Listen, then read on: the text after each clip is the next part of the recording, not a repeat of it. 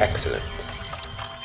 This last um, sprint, we had three new exploits. Uh, they're all pretty interesting. Um, they all have pretty high CVSS scores as well. Um, PHPMyAdmin, I think, actually landed a couple days ago, right, Jacob? And uh, that is a, a, remote code execution. I believe it doesn't even require authentication to, to uh, get in, right? That one does, um, it does. but it, it sets the uh, username and password to the default for PHPMyAdmin. Okay. Cool. well, then yeah, there's not really that much of an authentication at that point. Uh, some, some pretty interesting stuff there. Another um, Linux libc uh, es escalation as well. Um, it's kind of interesting that we had both CVSS 1 million and one and 1111. I, I thought that was kind of funny. This is the, uh, the week of, of binary exploits. Um, so a, a, couple of interesting things there. The DHCP uh, network manager one was a, was a bug in, in Red Hat's default config where basically you could get remote code execution just by sending a malicious DHCP packet, which was pretty hilarious in my opinion. Um, we also had a, a, contributor submit a number of really awesome modules. Uh, these are kind of more focused for red teams. Uh, what they allow you to do is create all kinds of cool malicious files. You can create bad ODT, ODT files, which is a, a, a Windows um, uh, file type. I forgot what they do though. like what's the, the, actual? It's the Open Office document format. Yeah. Okay. Um, we also have bad PDF um, and and multi-drop, which allows you to, uh, to, to target different kinds of uh, uh, file formats in one module. Um, another really cool module, I, I, like this one a lot, it allows you to um, automatically enumerate what commands are executable with escalated privileges. And what this allows you to do is it'll automatically check your file system looking for uh, like set UID binaries. It'll check your sudo configuration to see what commands are runnable. Um, it even uh, uh, basically does some some introspection to figure out um, you know what what is escalatable. So it's very useful from a pen testing point of view to to evaluate a system and see what you can do without having to manually try things. Um, some neat features that we added to Metasploit this, this past uh, uh, sprint are uh, we added sound playback in Meterpreter. This was one of the Google Summer Code projects uh, for just adding kind of miscellaneous fun to Meterpreter. Uh, we added IPv6 reverse TCP shell um, payloads to uh, our, our, our, collection of shellcodes, um, which is much more useful these days. I think IPv6 has what an over 50% penetration rate within within the US right now. And we had one for x64, but this is the first one for x86. That's oh, stageless. Interesting. Okay. was just in the matrix of all the different payload architecture IP combinations. We didn't have stageless IPv6 shells. Right. And now we do. Oh, awesome. Um, and then also we also have uh, background command support and command shells. Um, this is also a Google Code support project uh, where uh, if you've ever used a command shell payload within Metasploit, in fact that previous payload there is a command shell payload. If you've ever used it, you may have noticed that it's hard to do things like job control, it's hard to do things like background support. Um, it's really easy to accidentally lose your, lose your shell by typing the wrong keystrokes. Um, so this enhancement actually does some pretty cool stuff, and we'll probably show a demo of that mm -hmm. a little bit later. Um, we also fixed a few bugs. Uh, for instance, the, there's this long time module called psnuffle, which allows you to do runtime packet visualization of, of, packet captures as they run through. It'll like automatically detect different services. And so there were some bug fixes. There might have been some new bugs introduced as well, but we'll get to those a little bit later. Uh, also kind of a subtle sort of, um, and you, will probably never notice this, but there were some bugs in tile completion in the set command. Um, and uh, interestingly enough, uh, it just works like you'd expect. It's kind of one of those sort of UX things that if you don't notice it, it's actually a, probably a good thing, but that's actually fixed now in Metasploit. So um, there's a whole lot of stuff in the way, and we got a lot of goodness. Um, some of the demos that we're about to show will be things that'll also be hopefully landed soon as well. So let's go on to it. Um, sure. So I've got the demo list kind of queued up. Uh, the first person to be demonstrating will be Aaron Soto, and he's going to be demonstrating some some work that he's also been working on with for Google Summer Code with one of our students. Definitely. Uh, can I talk a screen share? Of course you can. So um, as, as we've said uh, a number of times, we've been working with uh, a number of students in our um, Google Summer of Code program. And these are students that have a number of projects in mind. Um, and so different members on, on, the team are working in different areas. Uh, but I've been working with Wang, who is, uh, there we go, one of our students who is working on making our uh, command, uh, command shell payloads be a little more user-friendly. So for those of you who've used our command shell, you know that uh, you know basically you get a callback from a box and you dropped into a command prompt, but then that's like all you really have. You don't have job control. You don't have the ability to kind of, uh, of to background things easily or switch between sessions easily. Um, and so this is what uh, uh, what this project aims to solve. And there's also some stretch goals for it, uh, which I'll I'll just leave as a teaser for now. Uh, but what we've what we've uh, and I say we what Wang has landed so far uh, is the ability to kind of use command shells in a way that we're more familiar with interpreters. So as a quick little demo here, you notice I have two sessions open. One is just a command shell, uh, command shell session, and the other is a interpreter session. And for those of you who've used interpreter sessions before, uh, you know you can do things like uh, background to get back to your uh, MSF console. And interpreter knows that, okay, that isn't a command I'm actually going to send to the target. That's just I need to background this so I can do other things. But previously, when you were in a command shell session, you couldn't do things like that. So when I typed background, it actually sent a command called background to the target. Well, now if I type background, notice what actually happens is uh, the, the, you know, on the local machine, we take a moment, we pause, and we say, hey, did you mean to background the session? And I can say yes. And we won't literally send background. Uh, we, can, we can switch out uh, back to our uh, MSF prompt. Uh, but the other thing we have the ability to do is switch directly between sessions. So if I do sessions, for instance, two, I can jump to my interpreter session. And we used to be able to do this with interpreter, uh, but now we can also do it with command shell. So we can jump between sessions uh, much more quickly and easily. Uh, so it's, it's little things like this, and this is, this is kind of laying some groundwork so that we can start adding some meta commands into our command payload. Uh, and so we'll have some, some possible future functionality there. I know in line for the project is the ability to run resource scripts. So you can kind of automate uh, a lot of our command shell payloads in the same way that we do with interpreter payloads. Uh, but that's something in the works, so something to kind of keep an eye out for. Uh, so uh, a little bit of groundwork laying for now, uh, nothing too fancy yet, but this gives us the opportunity to do quite a bit more. That's that great. The next step for one to work Yes. on the scripts. Mhm, yeah. And uh, he's done an amazing job of laying out a timeline, so he's been on schedule so far. Um, and now the next phase is to start moving into things like resource scripts. Yeah. So what if on the target box there was a sessions command that I actually wanted to run? Is there a way to escape it, like I've just with a about that. backslash or? Right now, no. And I'd be genuinely curious to know if that's something that we need to do. I mean, uh, so if you do sessions and you do anything else that it's not expecting, if you do background, you provide any, any other uh, additional output, it's going to go ahead and, and fall back to whatever that was. But if you literally needed to run a command called background, personally, I would do dot slash background or you know provide a path to background do the same thing. But I'd be genuinely curious if anybody in the community has a use case like that that we haven't considered. Then let's talk about it. Let's let's open up an issue and let's let's kind of hear about that. But right now, I don't think that's going to be an issue. But it's it's genuinely a good question. Yeah, yeah, It's certainly better than hitting, con- hitting Control Z and your entire met- Metasploit session dies. exactly. Yeah. Yeah, yeah. let's leave those days behind. Yeah. So anyway, there we are. Great. Thank you very much. Absolutely. Who's up next? So the, the next person to run the demo will be, and I hope my screen is actually sharing. Yeah. Uh, it's not right now, It isn't? but that's fine. What a- I think I see the problem. There's a, there's a modal that pops up that if I'm full screen, it doesn't show up.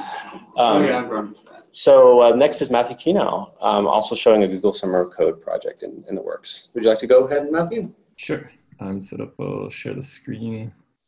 So Elliot is um, one of my my uh, Google Summer of Code students, um, and he's been he has like a really interesting plan of a bunch of little enhancements. The first of which sort of started out being this sound playback support for Meterpreter, um, and that's what I'm going to demonstrate here. Can you guys see my screen?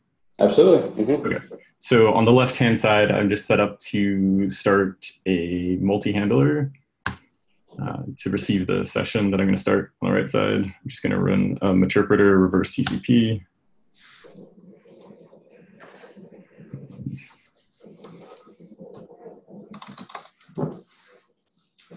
Now we got session.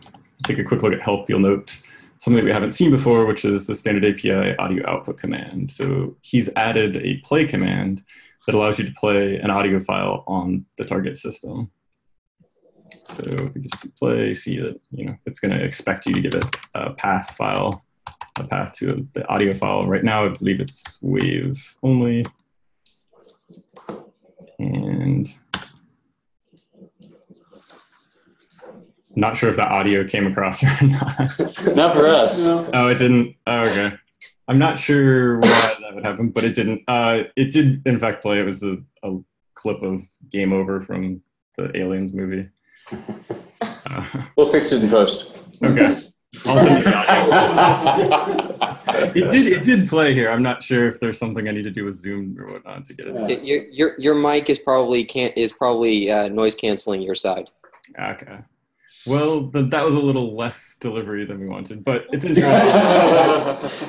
it's more fun with the the audio playing. Um, but you know, this is sort of the start of a, a really interesting uh, plan that Elliot has in place. So definitely keep an eye on the work that he's doing and the future enhancements that he'll be delivering.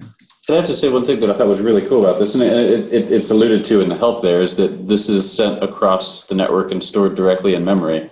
Like I was expecting a WAV file to be written on disk, and as I was looking through the code for this, I was like, no, that's really cool. Like the way that uh, the the file just buffered in memory. Yeah, it streams it using the Stream API. So Yeah. that's neat.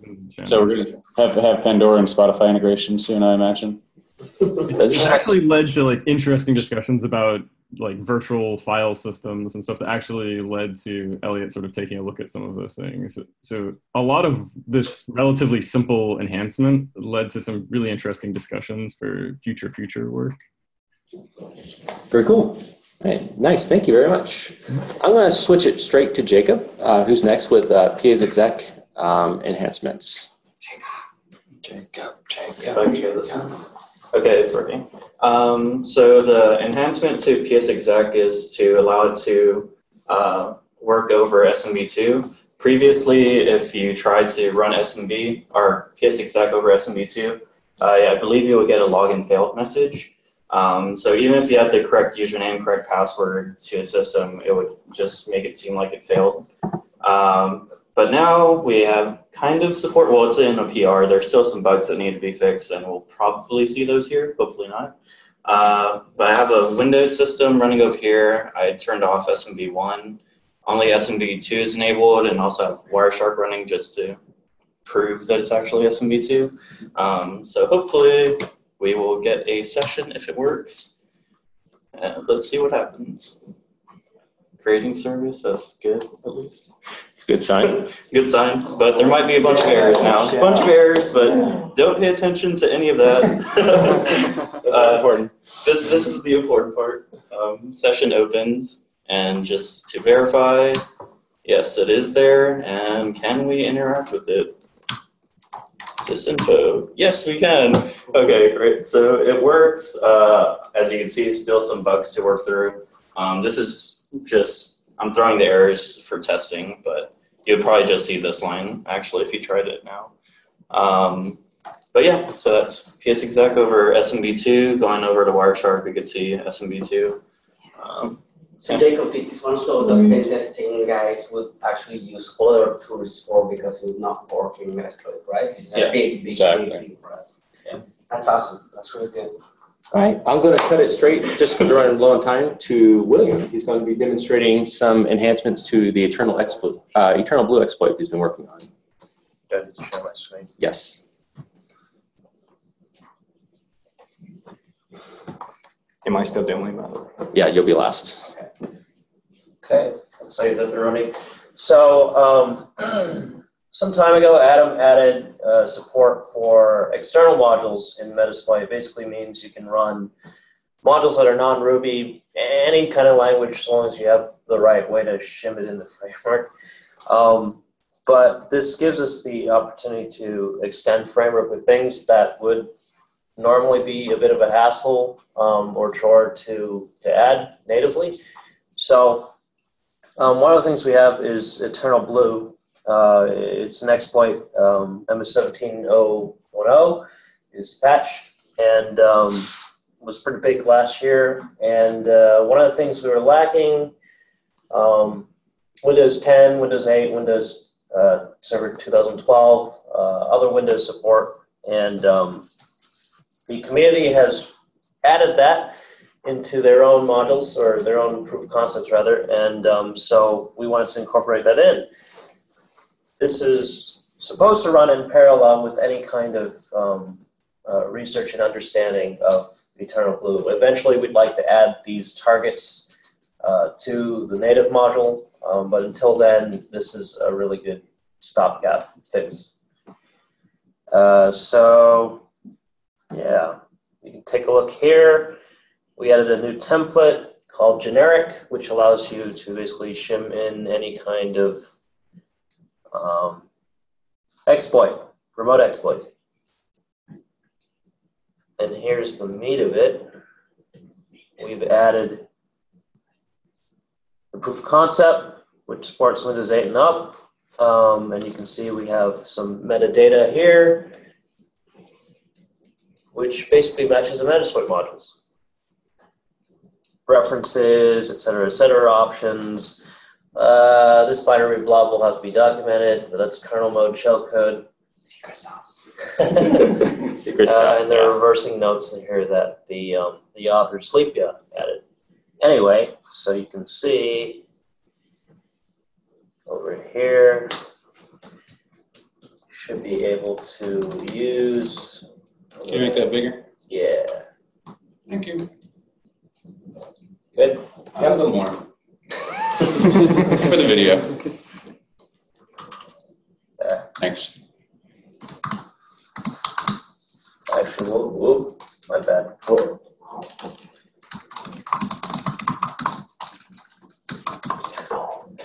You can see uh, we have a couple of them here. Here's the original, and here's the one we've added for Windows 8 and up. Um, we might want to rename those eventually. You can use play Windows. Uh, Good. Info. Um, it's a little bit jumbled, but you can see interaction with it is much like a normal module. All we need to do is set our house on the clear.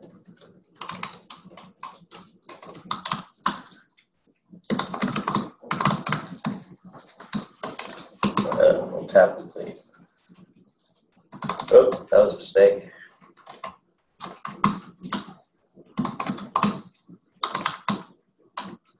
Okay, clear. Hopefully this works. Or it crashes it. Ballot parameters are good things. In this case. Uh-oh, that might be bad. Let us try again. You can usually increase room allocations, but. Eternal Blue is a fickle beast. yeah, Eternal, not blue. We'll get that one in post production too. Eventual Blue. I did, I did, I did see work yesterday, so I'll testify. Amen. You'll testify? Yeah, amen. Does the word blue come from the blue screen Uh, glass? we just Uh, crashed. yeah, we just, yeah.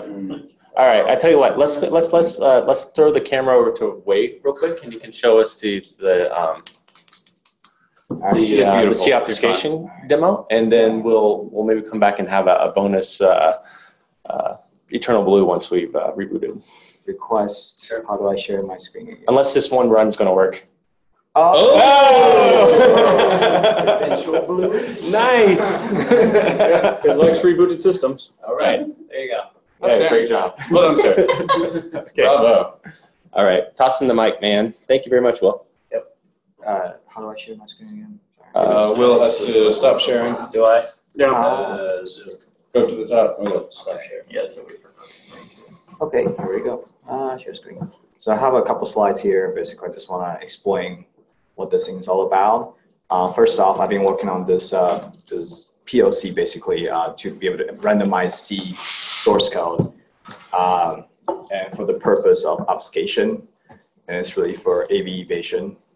Uh, so first off, why do, do I want to do this? It's because while I was trying to understand how antivirus works, I noticed that obviously there's signature based. So if you're able to randomize your code, you can signature it. Uh, but that's for the uh, for the entire file. There's also they also calculate checksums for like uh, segments of the file. So like they might look for like specific uh, like the import table. They might checksum that using CRC. And then if you just randomize that all the time, like you don't have a you don't have a static uh, checksum. Um, it's also it's also making uh, uh, reverse engineering more difficult. So these are the, some of the good reasons why you want to randomize your code often.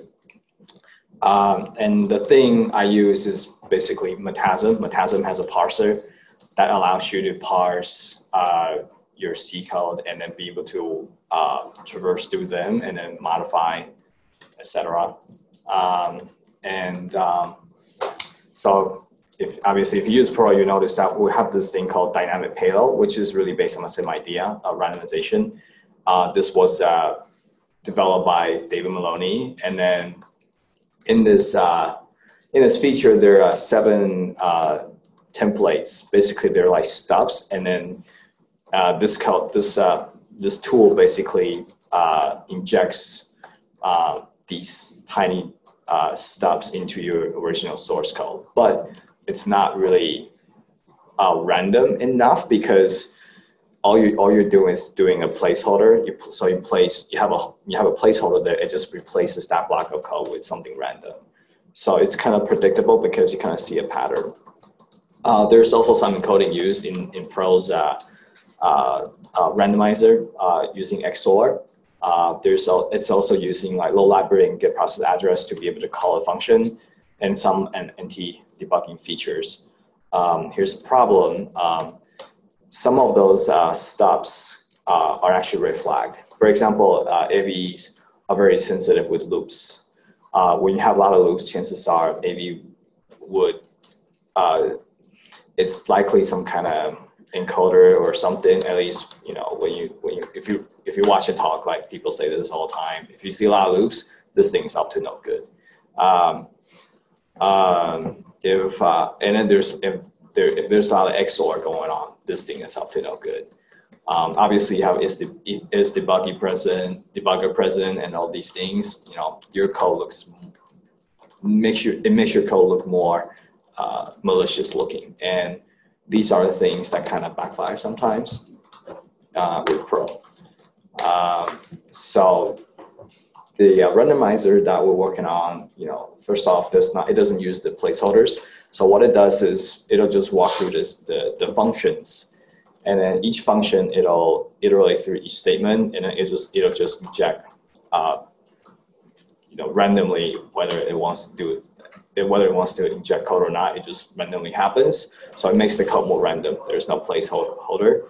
Um, um, the uh, the stubs templates will be easier to develop you just write your C code. You don't have to you you don't have to do a lot of Ruby code to be able to uh, create these templates and uh, and um, it's going to Metasploit framework so people can actually play with it and hopefully uh, the way uh, we might want to implement is put this in the Metasploit's compiler which uh, it's uh, it's something that we added not too long ago and hopefully this will be like a big package and and then and by that time we'll have really good, uh, I guess, mitigations, I don't know what you call it, to really uh, fight against antivirus, at least for status scanning. And there's our final piece, which is runtime, but we'll come back to that eventually.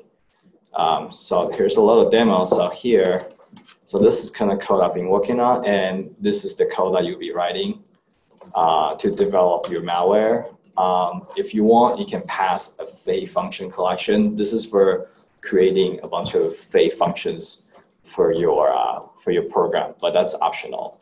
Uh, you can also specify how often this thing here. You can also specify how random you want this code to be. One is minimal, and 100 means a lot.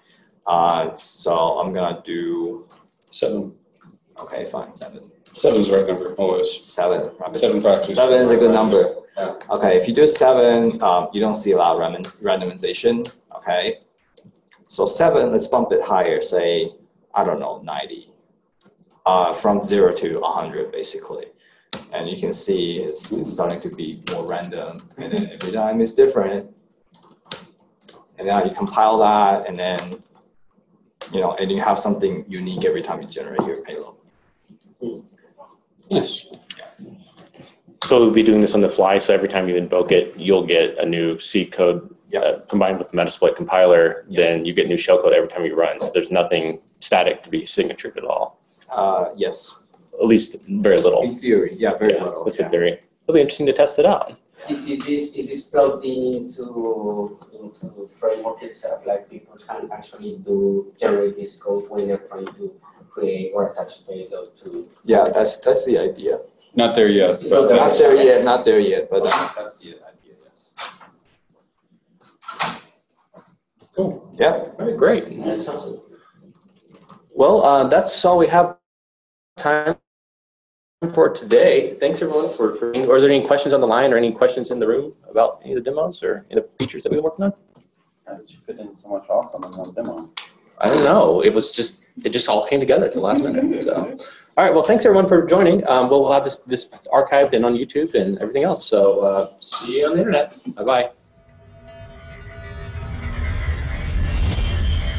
Excellent.